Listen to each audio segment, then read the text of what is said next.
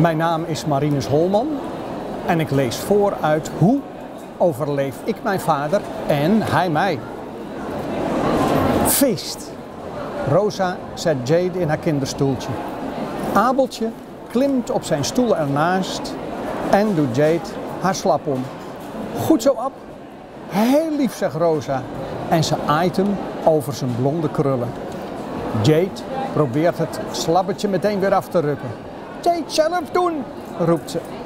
Is dat zo niet? vraagt Rosa's moeder. Ze zet een grote schaal lasagne op tafel en gaat zitten. Ik heb een paar keer geroepen, maar ze komt maar steeds niet. En ze geeft ook geen antwoord. Heeft meneer Ravioli het je niet verteld? Ze is weggelopen. Weggelopen? Verbaasd kijkt Rosa's moeder naar meneer Rossetti, die een kom sla op tafel zet. Enrico, wat is er gebeurd? Jullie hebben toch geen ruzie gehad? No, amore mio. Sasjes moeder was in de winkel en daar was ze erg van geschrokken. Meneer Rossetti geeft haar een kus en gaat zitten. In de winkel? Kwam ze doen dan? Koffie drinken, taart eten? Ze was samen met een jonge man. Appie wil lasagne.